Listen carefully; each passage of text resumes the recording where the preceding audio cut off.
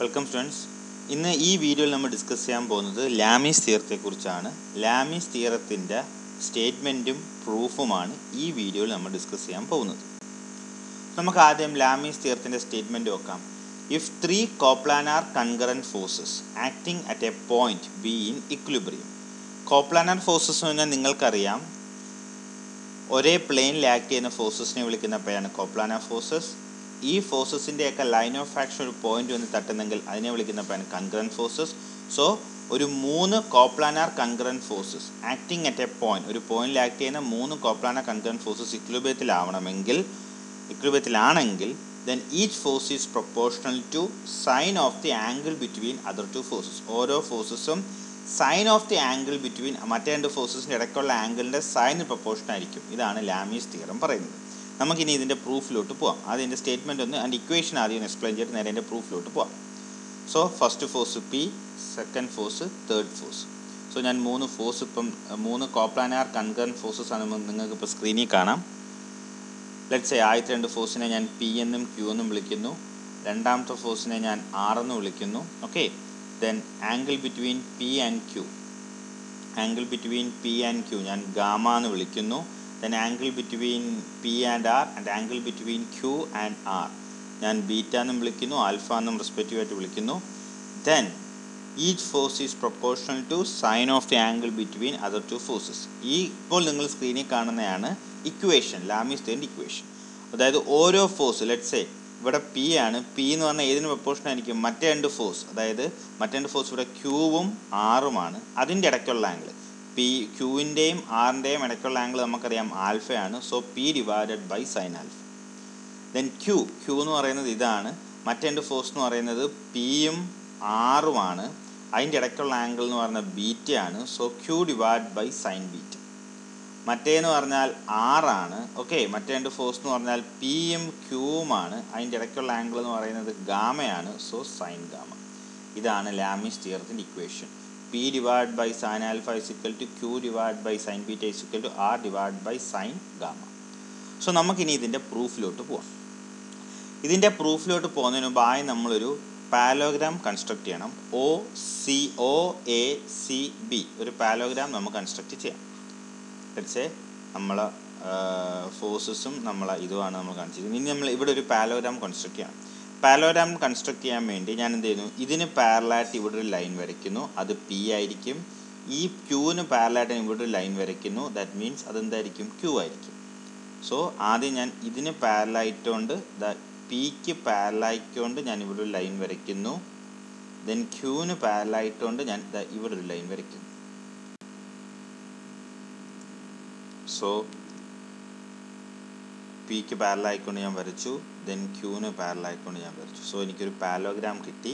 So O A C B ആണ് എന്റെ പാലോഗ്രാം സ ഇതെന്ന് പറയുന്നത് ക്യൂവിന് പാരലാണ് സോ എന്നെ ക്യൂ എന്ന് വിളിക്കുന്നു. ഇത് പി തന്നെയാണ്. പിക്ക് പാരലാണ് സോ ഈ ഒരു പോയിന്റിനെ ഞാൻ എ എന്ന് വിളിക്കുന്നു. ഈ ഒരു പോയിന്റിനെ ബി എന്ന് വിളിക്കുന്നു. ദെൻ ഈ ഒരു പോയിന്റ് ഒ ആണ്. ദെൻ സി സോ ഞാനിപ്പോൾ ഒരു പാരലോഗ്രാം കൺസ്ട്രക്ട് ചെയ്തു. ഒ എ സി ബി പാരലായിട്ട് വരച്ച് ഞാനിപ്പോൾ ഒരു പാരലോഗ്രാം കൺസ്ട്രക്ട് ചെയ്തു. Now the resultant of P and Q will be the diagonal OC of the parallelogram. നമ്മൾ പാരലോഗ്രാം ലോ അറിയാവുന്ന കുട്ടികളാണ്. നമ്മൾ പാലോഗ്രാം ലോ പഠിച്ചതാണ്. സോ പാലോഗ്രാം ലോയിൽ നമ്മൾ ഐ മീൻ തേർഡ് ലെക്ചറിൽ സെക്കൻഡ് ലെക്ചറിൽ നമ്മൾ പാലോഗ്രാം ലോ പഠിച്ചായിരുന്നു. സോ നമുക്കറിയാം രണ്ട് ഫോഴ്സസ് ഒരു പാലോഗ്രാം കിട്ടി രണ്ട് ഫോഴ്സ് ഒരു പോയിന്റിൽ ആക്ട് ചെയ്യുന്ന രണ്ട് ഫോഴ്സസിനെ പാലോഗ്രാമിന്റെ രണ്ട് അഡ്ജസ്റ്റന്റ് സൈഡായിട്ട് നമുക്ക് റെപ്രസെന്റ് ചെയ്യാൻ പറ്റിക്കഴിഞ്ഞാൽ then the diagonal will be the resultant of these two forces ഈ പാലോഗ്രാമിന്റെ ഡയഗണലായിരിക്കും ഈ രണ്ട് പിന്റെയും ക്യൂ എന്ന് പറഞ്ഞ ഫോഴ്സസിന്റെ റിസൾട്ടന്റ് നോക്കി ഇതൊരു അല്ല. പക്ഷേ the point of intersection of two forces പിന്റെയും ക്യൂവിന്റെയും പോയിന്റ് ഓഫ് ഇന്റർസെക്ഷനിൽ കൂടെ പോകുന്ന ഡയഗണലായിരിക്കും ഇതിന്റെ റിസൾട്ടന്റ് സോ എന്റെ ഒ സി എന്ന് പറഞ്ഞ ഡയഗണലാണ് ഇപ്പോൾ ഈ പിന്റെയും ക്യൂവിന്റെയും ഫോഴ്സിന്റെ റിസൾട്ടന്റ് ആയിട്ട് റെപ്രസെന്റ് ചെയ്യുന്നത്. ഓക്കെ ഇനി അടുത്തത്. നമുക്ക് കഴിഞ്ഞ വീഡിയോയിൽ നമ്മൾ ഇക്ലിബ്രിയം ഓഫ് ഫോഴ്സസ് നമ്മൾ ടു ഫോഴ്സ് പ്രിൻസിപ്പിൾ പഠിച്ച I mean three force principle നമ്മൾ പഠിച്ചായിരുന്നു.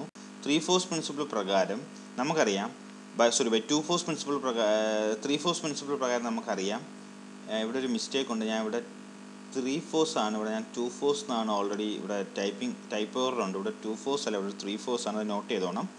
ബട്ട് ടു ഫോഴ്സ് ആണ് ഞാൻ ബൈ മിസ്റ്റേക്ക് ടൈപ്പ് ചെയ്തേക്കുന്നത്. ത്രീ ഫോഴ്സ് ആണ്.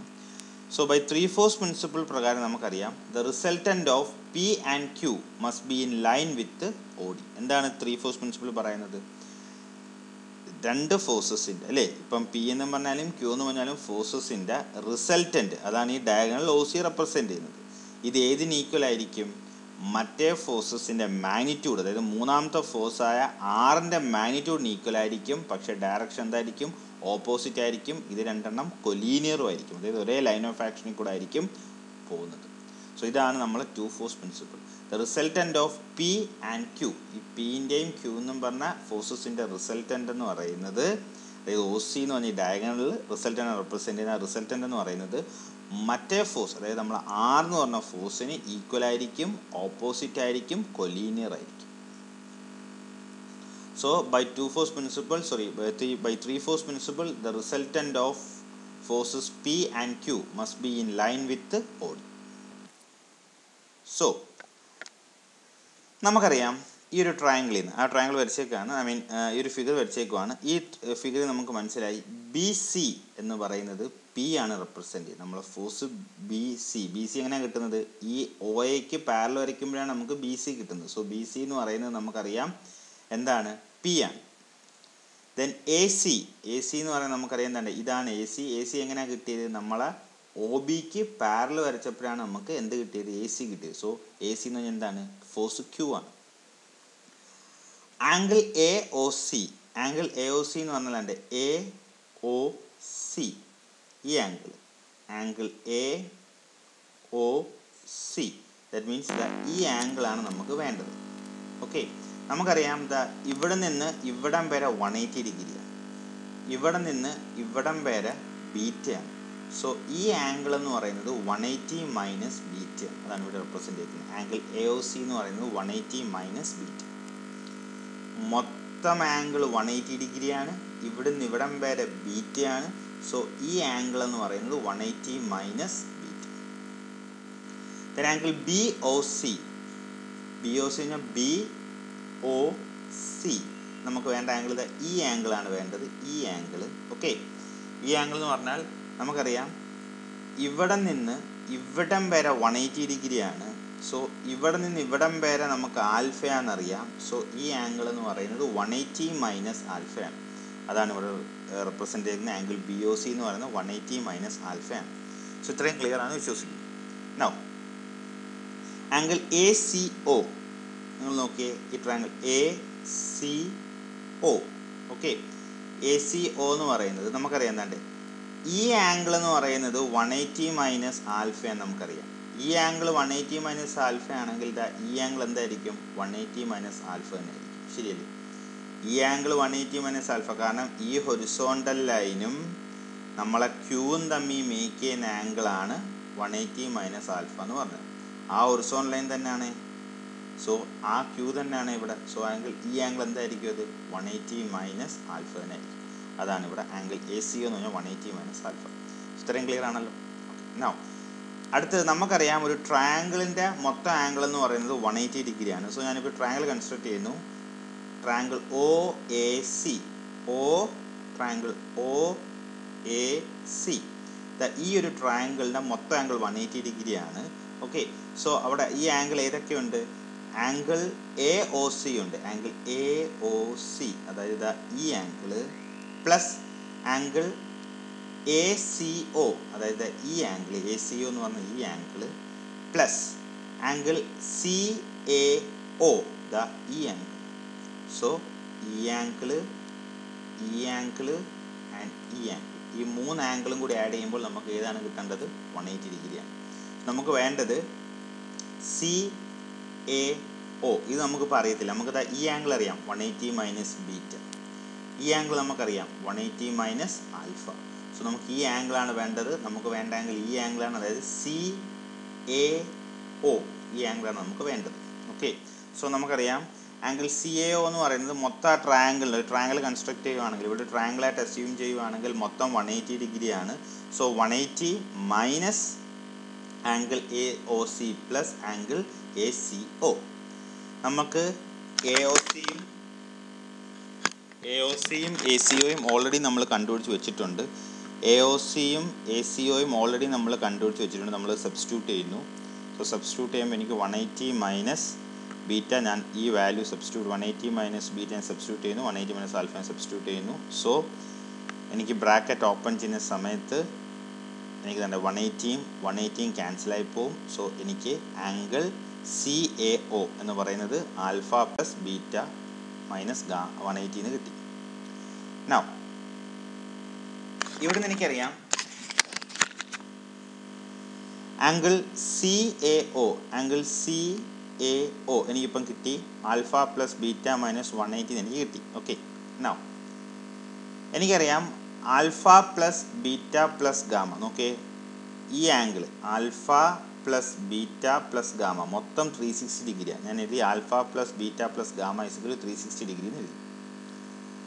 ഞാൻ ഈ ഇക്വേഷനിൽ വൺ എയ്റ്റി രണ്ട് എൽ എച്ച് എസ് സിന്നും ആർ എച്ച് എസ് സിന്നും ഒരു വൺ എയ്റ്റി സബ്ട്രാക്ട് ചെയ്യുവാണ്. വൺ എയ്റ്റി ഞാൻ സബ്ട്രാക്ട് ചെയ്യുവാണ്. സോ വൺ എയ്റ്റി സബ്ട്രാക്ട് ചെയ്യുന്നു. വെച്ചാൽ alpha plus beta minus one eighty alpha plus beta my alpha plus beta minus one eighty plus gamma is equal three sixty minus one eighty ഞാൻ രണ്ട് L H S സിന്നും R H S സിന്നും ഒരു one eighty subtract ചെയ്യുന്നു. Alpha plus beta minus one eighty degree ഇതിനെ നമുക്ക് എന്തുകൊണ്ട് replace ചെയ്യാം? സി എ ഒ ആയിട്ട് റീപ്ലേസ് ചെയ്യാം. സോ നമുക്ക് ഇത്രയും അങ്ങ് മാറിക്കിട്ടി ആംഗിൾ സി എ ഒ ആയിട്ട് റീപ്ലേസ് ചെയ്യാം. പ്ലസ് ഗാമ അതേ കണക്ക് തന്നെ ഉണ്ട് is equal to three sixty minus one eighty നമുക്ക് വൺ എയ്റ്റി വരും. സോ ഈ ഗാമ ഇപ്പുറം കൊണ്ടുവരുമ്പോഴത്തേക്ക് ആംഗിൾ സി എ ഒ എന്ന് പറയുന്നത് വൺ എയ്റ്റി മൈനസ് ഗാമ എന്ന് കിട്ടി സോ ഇത്രയും ക്ലിയർ ആണ്. സോ എനിക്ക് ആംഗിൾ സി എ ഒ കിട്ടി. എനിക്കിപ്പോൾ ആംഗിൾ ഇവിടുന്ന് സി എ ഒ കിട്ടി. ഓൾറെഡി എനിക്ക് ഈ ആംഗിൾ അറിയാം. വൺ എയ്റ്റി മൈനസ് ബീറ്റ ഈ ആംഗിൾ എനിക്കറിയാം. One eighty minus alpha and ഈ ആംഗിൾ ഇപ്പോൾ എനിക്ക് കിട്ടി. വൺ എയ്റ്റി മൈനസ് ഗാമ ഞാൻ ഇനി ട്രാ സൈൻ റൂൾ അപ്ലൈ ചെയ്യാൻ പോവുകയാണ് ഈ ട്രയാങ്കിളിൽ ഞാൻ സൈൻ റൂൾ അപ്ലൈ ചെയ്യാൻ പോവുകയാണ് സൈൻ റൂൾ എന്ന് പറയുമ്പോഴത്തേക്ക് തന്റെ എ ഒ സി ഈ ഒരു ട്രയാങ്കിളിലാണ് ഞാൻ സൈൻ റൂൾ അപ്ലൈ ചെയ്യാൻ പോകുന്നത്. ഓക്കെ സോ എനിക്ക് സൈൻ റൂൾ അപ്ലൈ ചെയ്യുമ്പോഴത്തേക്ക് താണ്ടേ എ ഒ സി നമ്മൾ ട്രയാങ്കിൾസിൽ മുമ്പത്തെ നമ്മൾ എന്താണ് ട്രയാങ്കിൾസ് ചാപ്റ്ററിൽ നമ്മൾ പഠിച്ചിട്ടുണ്ട്. സൈൻ റൂൾ നിങ്ങൾക്ക് എല്ലാവർക്കും സൈൻ റൂൾ അപ്ലൈ ചെയ്യാൻ അറിയാമെന്ന് വിശ്വസിക്കുന്നു. സൈൻ റൂൾ എന്ന് പറഞ്ഞാൽ വളരെ സിമ്പിളാണ് ഒരു സൈഡ് ലെറ്റ് സൈ ഒരു സൈഡ് എന്ന് പറയുന്നത് മറ്റേ രണ്ട് സൈഡിന്റെ ഇടയ്ക്കുള്ള ആംഗിളിന് ഈക്വൽ ആയിരിക്കും. സോ നമുക്കത് നോക്കാം. ഈ ഒരു ട്രയാങ്കിൾ നമ്മൾ സൈൻ റൂൾ അപ്ലൈ ചെയ്യുമ്പോൾ അതായത്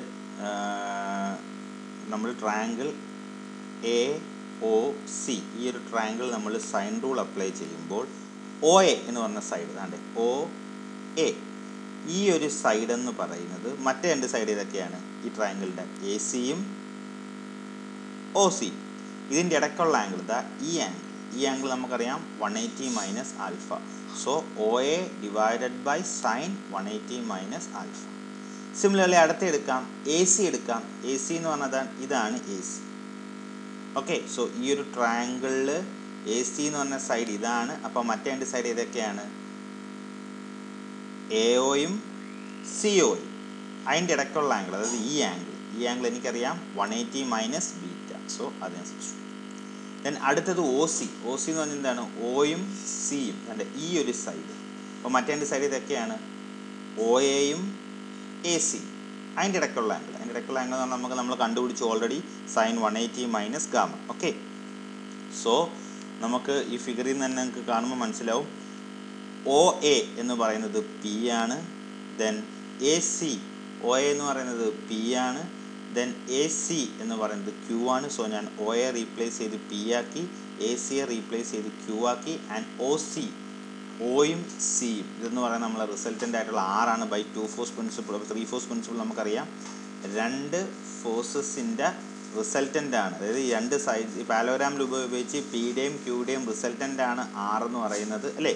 ആ റിസ് ഈ രണ്ട് പിയുടെയും ക്യൂടെയും റിസൾട്ടന്റ് ആണ് ഈ ഡയഗണൽ റെപ്രസെന്റ് ചെയ്യുന്നത്. ബൈ ത്രീ ഫോഴ്സ് പ്രിൻസിപ്പിൾ പ്രകാരം എനിക്കറിയാം. ഈ രണ്ട് ഫോഴ്സസിന്റെ റിസൾട്ടന്റ് മറ്റേ ഫോഴ്സസിന് അതായത് തേർഡ് ഫോഴ്സസിന്റെ മാഗ്നിറ്റ്യൂഡിന് ഈക്വൽ ആയിരിക്കും ഡയറക്ഷൻ ഓപ്പോസിറ്റ് ആയിരിക്കും കൊലീനിയറും ആയിരിക്കും. എങ്കിൽ മാത്രമേ ഈ മൂന്ന് ഫോഴ്സസിനെ ഇക്വിലിബ്രിയം എന്ന് പറയാൻ പറ്റൂ അല്ലേ? സോ നമുക്ക് ഈ ഒ സി നമുക്ക് എങ്ങനെ റീപ്ലേസ് ചെയ്യാം? By three force principle O C നമുക്ക് ആറായിട്ട് റീപ്ലേസ് ചെയ്യാം. സോ നമ്മൾ ലാമിസ് തിയറം കിട്ടി. P divide by sine L is equal to Q divide by sine beta is to R divide by sine gamma ഇതാണ് Lami's തിയറത്തിന്റെ equation ഇതാണ് Lami's തിയറത്തിന്റെ proof so നമ്മൾ അപ്കമിങ് വീഡിയോസിൽ നമ്മൾ ലാമീസ് തിയറത്തിന്റെ പ്രോബ്ലംസ് ആണ് ഡിസ്കസ് ചെയ്യാൻ പോകുന്നത്. സോ അടുത്ത വീഡിയോ ആയിട്ട് കാണാം. ബൈ